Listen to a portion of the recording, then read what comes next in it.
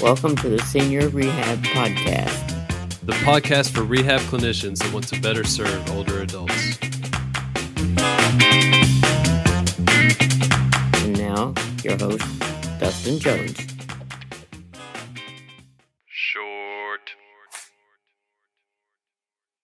Hello, friends. This week's article is titled Secrets to Success by Mike Eisenhart. Uh, this was published in uh, the private practice section's uh, Impact magazine, uh, which comes out every month. This one is from March of 2016. If you're not familiar with Mike Eisenhart, you need you need to familiarize yourself with him. Go to freetheyoke.com. That's all I'll say. Check it out. He's doing big things and really moving the needle forward for our profession. Secrets to Success Leadership and Becoming Laird Hamilton.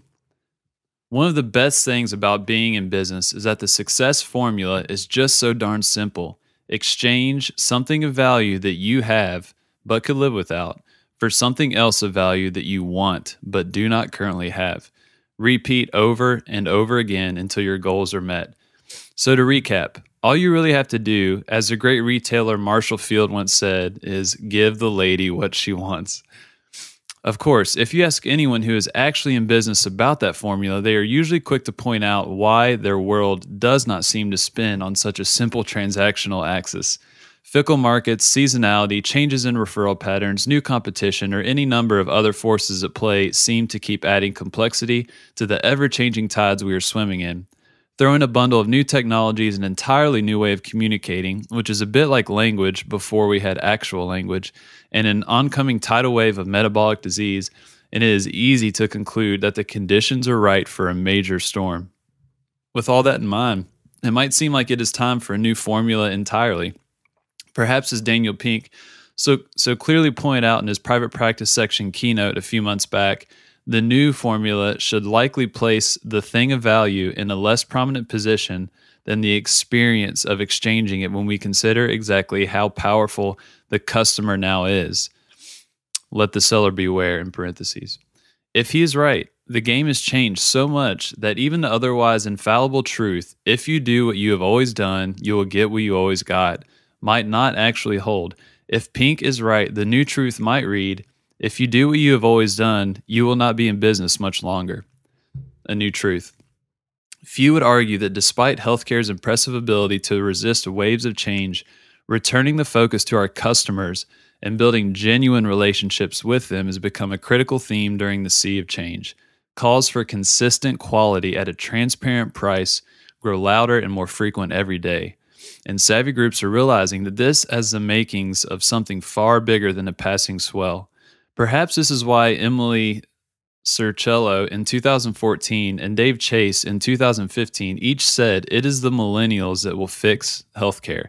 Not because they are playing a simple transaction game, as the largest generation making the greatest number of purchases, for example, but because their needs and desires are different than what is currently available in the marketplace, and that if their needs are to be met, fundamental change will be required.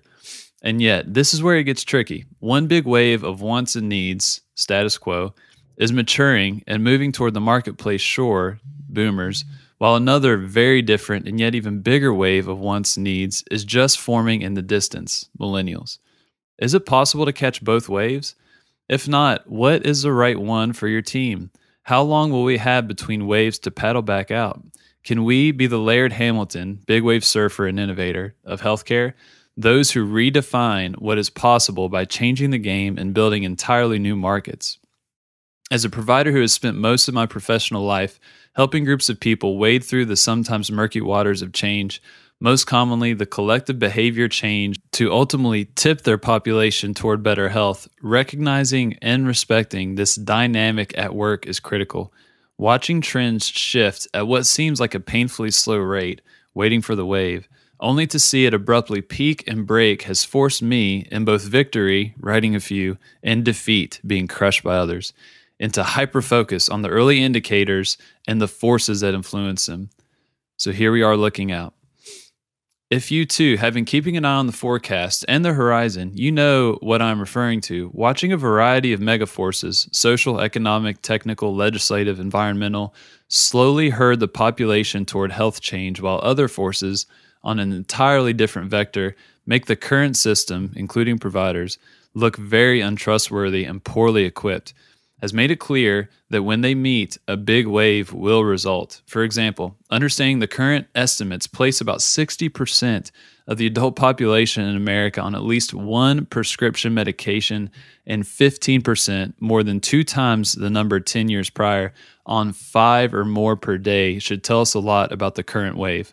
Overlaying that with the knowledge that medication errors were noted in nearly half of surgeries that medical error is mathematically the third leading cause of death in the US. And as we have known for a while, medical bills are the most common reason for bankruptcy, and we can quickly see that there is a real problem begging for a solution, and thus an entirely new wave of opportunity begging to be ridden. In addition to those apparent fumblings, if we consider the personal values of these new customers, trust, transparency, social, social improvements, the fact that they have watched and will likely continue to watch the failing health of their parents who grew up in a doctor knows best culture and the estimated gap of plus or minus 100,000 physicians over the next 10 years, it is clear that the opportunity for new frontline health leaders will emerge. The sheer numbers will require these leaders to keep an eye on many factors, likely in a high, high tech, low touch way. The new customer's values will require these leaders to intervene quickly and precisely in a high touch and perhaps low tech way when the need arises and the size of the economy involved will require it all be done with a lower cost burden per capita. Opportunity knocks, but not for long. If we understand and respect the forming wave, we can be this leader. Physical therapists who focus on lifestyle interventions such as exercise, nutrition, sleep, stress management, and social connectedness, or as my team calls them, the five elements move, fuel, recover, endure, connect, can lead. But sadly, we will not unless we are willing to anticipate the needs and start getting into position now to ensure we are in the best position before the wave arrives. If we do not do that, someone else undoubtedly will, and with the explosion of exercise science and trainers, they have already started to paddle out. Riding a monster wave like health change to transform society will not be easy, but perhaps this is not entirely bad news, because as is often the case during turmoil and times of change, such as a space between the laggards of the last wave and the innovators of the next one, there is often a flight to quality a moment when customers will race toward the safety of lower risk and still high quality, a moment when they will abandon the high risk of surgeries and medications but remain in the safety of working with skilled professionals who have the depth of understanding to deal with high prevalence of multi-morbidity. Whether you see it as a bell shaped curve or a whole new wave, the seas are rising as the storms rage on. If you don't already own a yacht, it might be a good time to learn how to surf. Hit me.